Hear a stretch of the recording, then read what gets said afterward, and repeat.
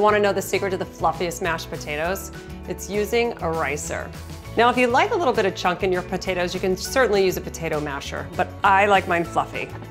So I have boiled russet potatoes. You can see that I took the skins off and I just boiled them until they were barely fork tender.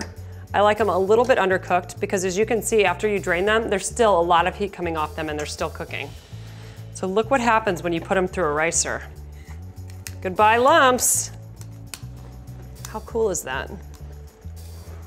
just scrape off the extra or as you rice, that'll fall off too. And you'll notice I'm putting them right back into the pot that I used to boil them so you're not wasting another dish. They can just stay warm on your cooktop like this until you're ready to serve, serve them. A few more. The thing that's so cool about this is once they're riced, you literally just add your other ingredients and they're ready to go.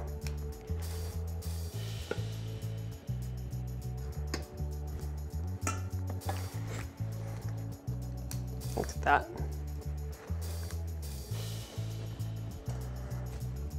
Then you can scrape it off if you want, but the more that you put through, it'll just come on through itself. Last scoop.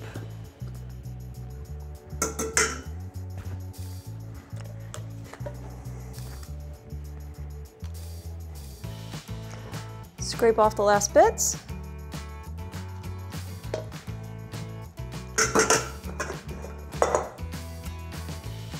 All right.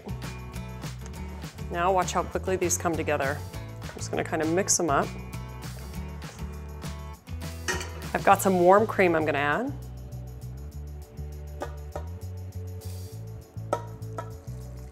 And some butter, of course. You could certainly use sour cream, butter. A lot of people I know use yogurt. I'm just kind of going old school on these. Start to mix it. You wanna make sure your mashed potatoes are really well seasoned.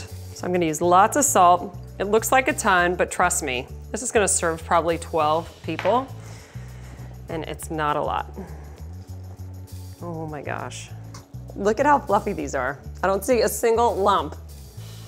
I'm gonna add some pepper already too.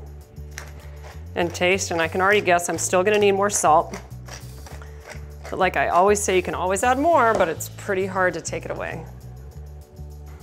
Okay, so they're well seasoned. I'm just gonna add a couple of chives. I love that it adds color and just a little bit of flavor. Okay, one final taste.